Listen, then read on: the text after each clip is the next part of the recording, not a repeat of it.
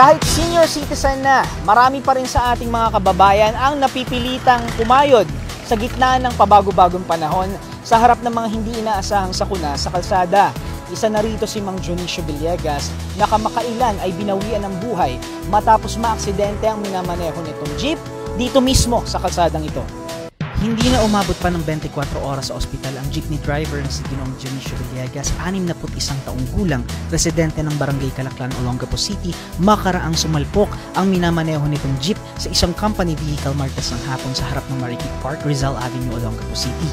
Sa inisyal na investigasyon na isinagawa ni PO3 Adrian Amigo ng Traffic Investigation Unit ng OCPO, lumalabas na kasalukuyang namamasada noon ng driver na si Mang Dionisio nang bigla itong atakihin sa puso na naging sanhi ng kawalan nawalan ito ng kontrol sa manubela hanggang sa tuluyan itong bumangga sa isang owner type company vehicle na binabagtas naman ang salungat na direksyon sa nabanggit na kalsada.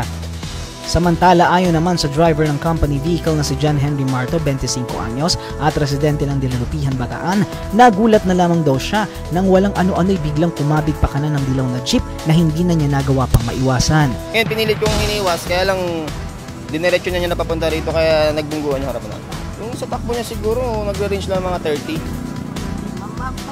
Mabagal na po kaya lang kasi mabigat po yung laman niya tapos pababa pa po siya. Ayun po yung nagdala po ng impact po.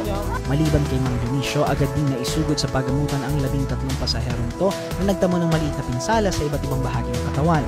Ayon sa ilang pasahero na nakapanayam ng SBC News, nagawa pa umanong pulutin ni Mang Dionisio ang mga nagkalat na barya na kanyang pinampasada kahit pa sumusuka na ito ng dugo.